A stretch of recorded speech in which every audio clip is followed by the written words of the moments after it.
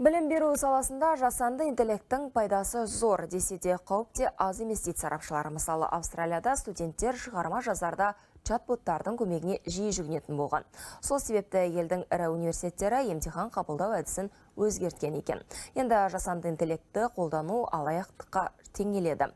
Бұған дейін ақштың кейбір мектептерінде технологияға тыйым салынған. Енді осы мәселеге британдық ұстаздар алаңдап отыр.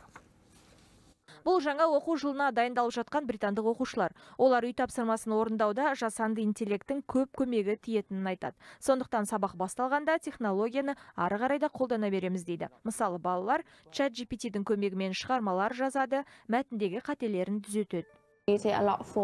оқушы көп кейде мұғалімдердің қолы тимей кетеді сондықтан бірдеңені түсінбей жатсам жасанды интеллекттің көмегіне жүгінемін үй жұмысын да арнайы бағдарламаға салып тексеріп шығамын Бірақ мұғалімдер оқушылардың мұндай қызығушылығына күмәнмен қарайды. Мұны жүргізілген сауалнама нәтижелері айғақтайды. Оған Ұлыбританиядағы 500 мектептің ұстазы қатысқан. Солардың 9 пайызы компьютерлік технологияның көмегімен жасалған тапсырманы ажырата алмаса керек.